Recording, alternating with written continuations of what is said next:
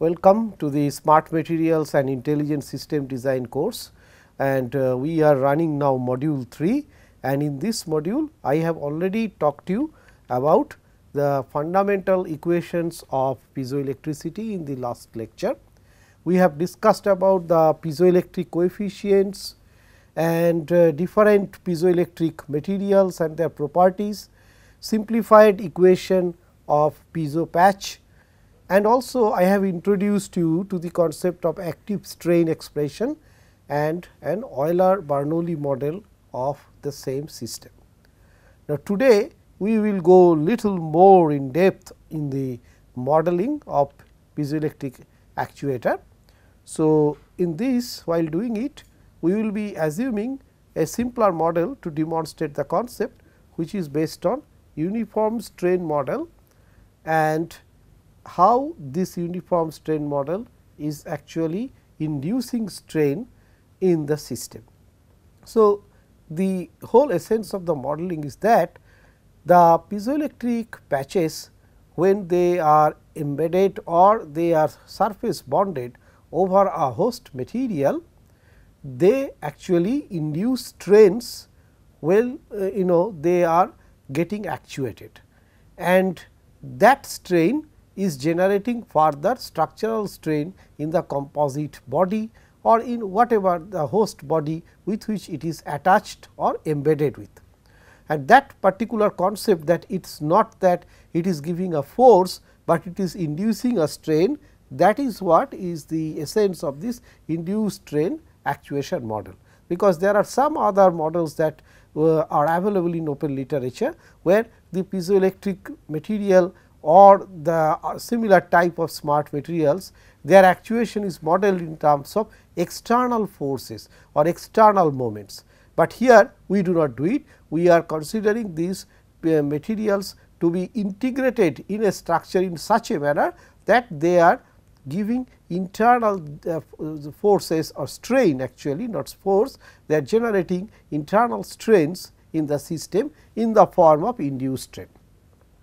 Also, I will talk a little bit about various piezo actuators and sensors and uh, some displacement and force measurement techniques.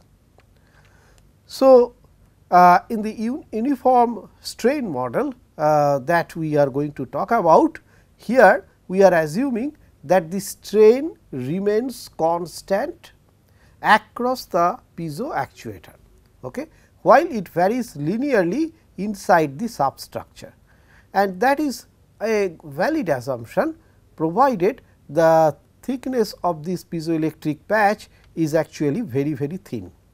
And this model is very popular for surface bonded actuation, because there indeed because this piezoelectric material is not embedded. So, the variation of strain if you consider as uniform strain versus that uh, linear variation in the Bernoulli Euler model uh, that difference is not very significant. So, uh, this is uh, you know much more useful for surface bonded actuation.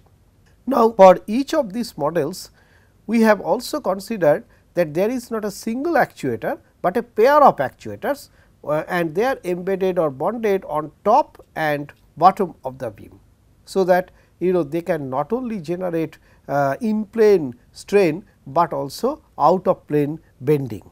So, this bending generation is feasible through this model.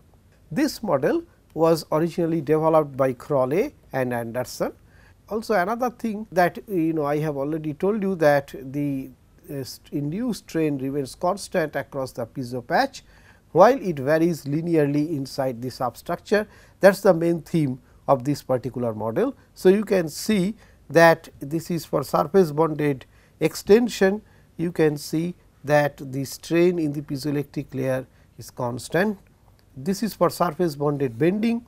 Here also the strain in the piezoelectric layer remains constant, whereas in the rest of the uh, part as usual for bending there is this uh, you know linear variation of the strain, you know it varies from the tensile to the compressive strain. Now, if you look at the embedded extension, they are also for extension uniform variation okay. and if it is embedded bending here also for the piezoelectric part it is uniform and then the linear variation starts. So, these are all the relevant sketches that are important for us to get the you know model of this induced strain actuation. Now, if you consider any one of this model, what you are going to see is that there are two piezoelectric actuators, one in the top, another in the bottom. So, each one of them let us say is generating a force F A. So, 2 F A they are identical plus F S that is the force in the substrate and that should be equal to the total force in the system that is simple force balance of strength of materials. Now, what is the expression of this F A? Well, it must be having a stress times the area. So, this is the stress part of it. If we assume that the strain in the active layer is S A, then that stress is E p times S A, that times A p gives us the force that is each one of the forces in the piezoelectric material. So, there are two of them uh, in case of uh, you know uh, simple extension. Okay. In this case the forces are adding up. So, there are two of them. So, that is what is the force from the active part and if you look at the uh, substrate part once again the stress is E s S s times A s. So, that is the force in the substrate. Now, that these are the forces that is generated inside the structure as a response to what? As a response to the induced strain. So, the induced strain the free strain is lambda and then you have 2 of these. So, it is 2 lambda 2 of this piezoelectric material generating double the strain, then you multiply that with the uh, modulus of elasticity of the piezoelectric material E p, you get the stress multiply that with the area you are going to get the force. So, that is the force which is as a result of the induced strain actuation and that force has to be equal to the total force uh, or the resistance that is coming from the structure. Now, in this particular case for the uniform strain model we have assumed S A equals to S S. So, in this particular equation if you look at it E p is already known to us modulus of elasticity, area of the piezoelectric material known to us, modulus of elasticity of the substrate known to us, A s is known to us, lambda is known to us that is characteristics of piezoelectric material, modulus of elasticity is known to us, area of the piezoelectric material is known to us. So, what is unknown to us? This is one single equation where we had two unknowns S A and S S, but since S A equals to S S. So, we should be able to get you know if I just represent it as S, we should be able to get S from this one single expression itself. And if you do a little bit of algebra now, you will see that that S will come out in this beautiful form that is 2 lambda over 2 plus psi e, where psi e can be written as the in plane stiffness ratio that is E s A s over E p A p. So, essentially if I know what is the free strain that my piezoelectric crystal is generating, I can actually set this in plane stiffness ratio because uh, area of the piezoelectric material is fixed, but area of uh, you know this part ESAS the host part is actually you know according to our necessity we design the system, but if we can do that and we can get a stiffness ratio and that stiffness ratio will finally dictate that what will be the strain that we will be getting in the system. Not only that you can also vary lambda if you consider lambda, if you look at it that lambda is nothing but it is a function of actually electric field intensity. So, it is a function of voltage over the thickness of the piezoelectric material and this voltage can be actually varied. So, this voltage is variable. Okay. So, I can vary V, I can vary V increase or decrease V and as I change this V I can change this lambda. As I change this lambda, I can change the strain and as a result I can change the deflection of uh, you know such kind of a system. Now, similarly, uh, you can also balance in this earlier case we have balanced the force, you can also balance the bending moment versus the bending resistance. So, in this case instead of uh, you know we will be having this uh, area moment of inertia which will come into picture. And this is just that simple rule of bending that we use if you remember that from strength of materials that m by i equals to sigma over y where y denotes the distance from the neutral axis in terms of bending. Okay. So, if I consider any point which is at a distance y and the stress is there sigma, then the moment to area moment of inertia that is the this ratio will be equal to sigma over y and that can be used. So, that means sigma is your m y over i. So, that has been used in this case in terms of developing the moment equilibrium. So, once we have this moment equilibrium corresponding to bending, we are going to get a very similar expression in the last case the factor was 2 lambda, now it is 6 lambda and 6 plus psi b. So, in earlier case it was stiffness ratio, now it is the bending stiffness ratio psi b which equals to 12 EIS over T s square times EAP. So, here also if you look at it carefully that if you know EP and AP these are all fixed. Okay. So, what is there in our hand one is that the T s square we can design in such a manner that if T s square is more then psi b will be low. So, if T s square increases very fast psi b will decrease at a very fast way and if psi b decreases then this this entire summation will be less. So, the denominator will be becoming smaller and as a result you will be getting more and more deformation in the system. So, thus you can actually control uh, it through the passive part of the design. In the active part once again lambda as a function of the voltage and you vary this voltage as you vary the voltage you are varying the lambda and you are varying the act active strain that you are generating in the system. So, in a sense you are varying the uh, nature of extent of bending in the system.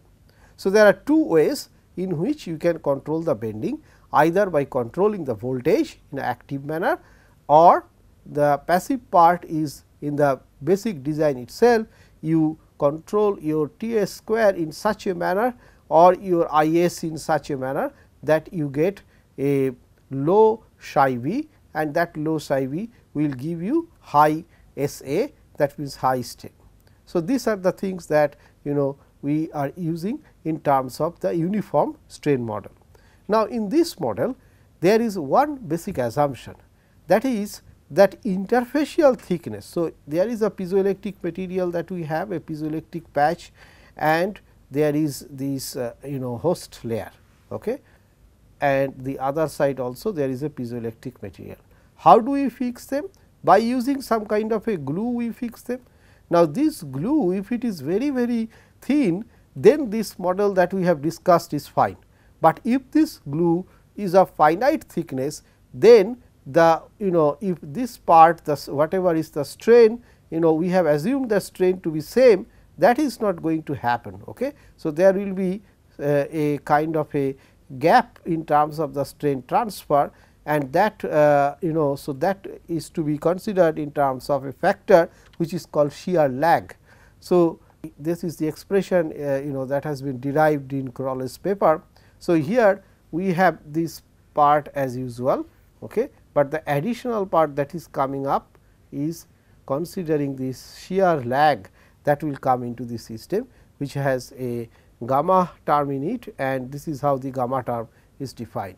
So, if you look at it that if the bonding layer thickness is very very small then you know the T b here denotes the bonding layer thickness then gamma will actually increase enormously and as gamma increases this ratio of cos hyperbolic function that will actually reduce and then it will become simply unity and as a result our initial model will be valid in this case also.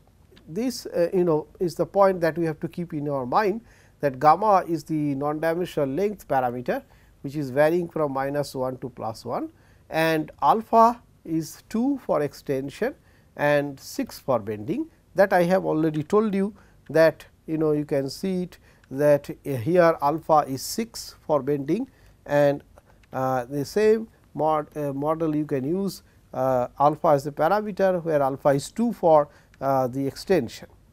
And G is the shear modulus of the bonding layer, gamma is the shear lag contributed to, by the bonding layer of thickness T b. And I already told you that a high value of gamma signifies a thin layer with steep bonding and as gamma tends to infinity we will get back the perfect bonding equations which we have earlier derived. Now, if you actually try to visualize that that how the shear parameter gamma increases you would see that the fraction of the perfect bond displacement that gradually approaches unity meaning thereby that our assumption of S A equals to S S is valid in this range where gamma is very very high and that actually indicates that the thickness of the bonding layer T b is very very small. T b is very small then only this particular thing will approach unity and as a result the effect of shear lag can be neglected. Now, this uniform strain model can also be used in terms of getting the force. Okay. So, we can uh, you know just extending the same thing we can find out the shear force that is there in the system and uh, you know you can get it just simple extension or by using the equations that I have already discussed. So, let us try to discuss this uh, whole concept with the help of an example. The example that we have chosen is that of a bimorph. Okay. So, you can see a bimorph here and in that in this bimorph what you have is a uh, you know piezoelectric material, two piezoelectric layers which are joined together, okay, two actuators placed at the top and bottom of the specimen and we can apply opposite voltage to each one of them. So, that we can actually generate a bending out of the situation and this is a typical MEMS system. We have discussed about that uh, kind of flow control where this kind of MEMS system can be used and the length of the beam is 2 millimeter, width is 200 micron meter, thickness is about 100 micron. So, it is a very very small MEMS type of applications. Now, we are using two 50 micron meter thick piezoelectric actuators in this system. Okay. So, they are glued together. So, total you are getting 100 micron meter. Uh, let us say the modulus of elasticity is known to me 65 GPa, coupling coefficient D 3 1 which is important in this case, because we are applying voltage from the 3 direction and we are getting you know in plane actuation. So, that is known to me that is relevant here and also uh, the elastic modulus uh, you know the host beam is made of uh, silicon. So, that uh, is elastic modulus is known to me top actuator has about 100 volts and the uh, bottom is minus 100 volts. So, the first thing so what we have to find out is the deflection at the free end of the bimorph beam. So, in order to do that the first thing that I have to know is that what is the area moment of inertia of the host beam, because I know the host beam size I can very easily find it out as 112 bhq and then I can find out what is the flexural rigidity EIS. The moment I find it out I can actually find out what is psi b okay. that is this ratio I can find it out which will come out to be about 1.54. Now, for bending we know that alpha is equals to 6 and free strain lambda is uh, also known to us uh, we can find it out because the voltage is known to us which will give us lambda to be 100 micron strain. So, we can use this data and we can find out what is the force that is acting on the top of the host beam which will come out to be 0.026 Newton. Exactly an opposite force is there in the bottom. So, this actually comes up in the form of a couple. So, if we know the thickness of the beam we can find out that what is the moment that is working on the system. Now, that the moment is known to me okay, a simple and the length of the beam is known to me m l square by 2 E i is going to give us what is the you know deflection at the tip of the beam. So, that is you know that is what then we can find out that if this is going to be the tip deflection then we can design the system accordingly in terms of some control. This is uh, you know so can be used for various piezoelectric systems and a maximum strain lambda that you will be uh, you can use is for 2 is about 2000 micron strain. In some cases one can go for PZN or PMN crystals where you can get up to 8000 micron strain, but that is not very uh, you know kind of commercially available and even if it will be of very high cost. So, generally the lambda max is about 2000 micron strain and based on that we have to make the design of such MEMS systems. Well, can we not because 2000 micron strain is very low. I told you last time you know I have shown you through the graphs in magnetostrictive material how low is this kind of microns this 2000 into 10 to the power minus 6. So, you can imagine how small it is. Can we not increase this? Well, there are two ways of increasing it. One is called internally leveraged system that means you do something on this system you know while making these piezoelectric actuators itself. Simplest example is that you stack a lot of these piezoelectric you know wafers very very thin wafers you stack these wafers. Okay. So, uh, if you have many of, of these things and if you are using D 33 parameter that means you are applying voltage across and you are uh, measuring the reflection along across the you know that is the transverse direction because D 33 is much much higher than D 31. So, we uh, intend to get a large you know strain along this direction. So, this is one you know internally leveraged system. There are other internally leveraged configurations like rainbow, C block or crescent forms configurations. All in these kinds of configurations like rainbow, you have a reduced and internally biased oxide wafer. So, in this uh, case what you do is that you have uh, PZT wafers, you just uh, um, lap the PZT wafers and heat them at a high temperature. So, one side of the wafer will get chemically reduced in this heating process.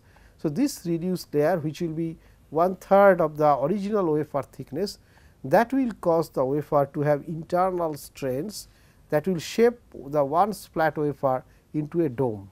So, if suppose you know this is what is my piezoelectric patch and I am applying you know thermal load to it.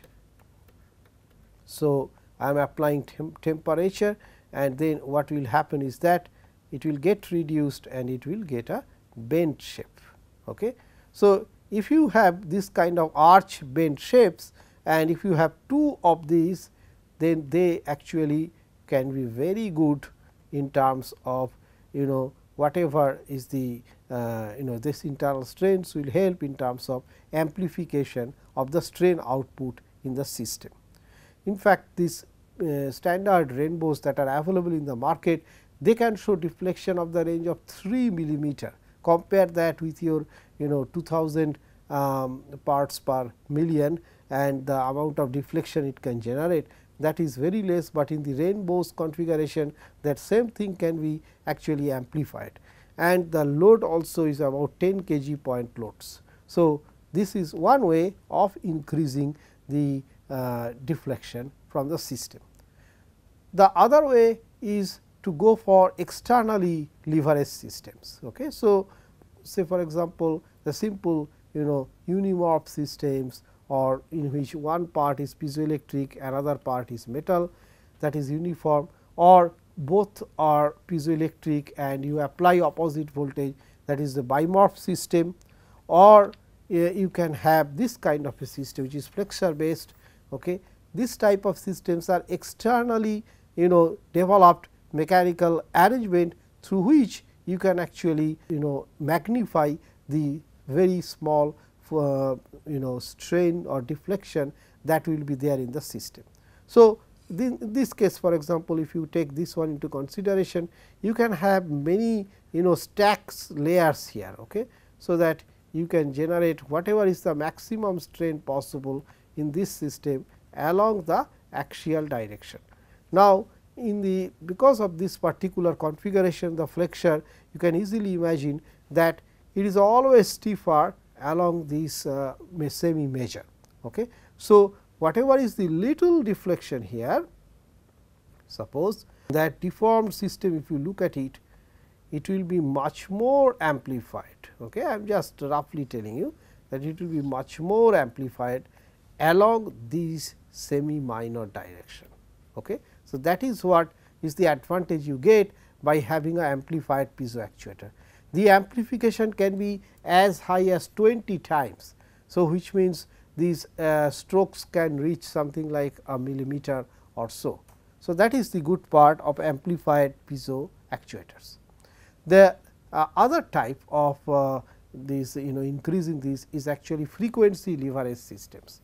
So, in this case what we do is that we uh, develop a system which works like a based on you know AC supply, but it works uh, like a oscillatory system a series of operations it actually develops the or grows the deflection. So, instead of deflection in one shot you are deflection you are achieving deflections in many many cycles, but because it is very fast you can operate it very fast. So, this is the concept of inchworm motors or ultrasonic motors etc. and uh, if you look at the inchworm motor concept you would see that this is mostly used in micro positioning applications. So, the essential concept I have also earlier once explained you that there are two clamps and one extensional element in between.